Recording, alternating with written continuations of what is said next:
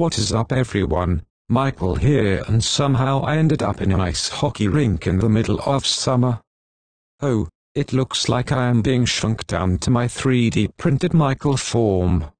Ah, now the hockey rink is shrinking into an air hockey table. Ow. Ah. Ah. Ow. Ah. Ow. Ow.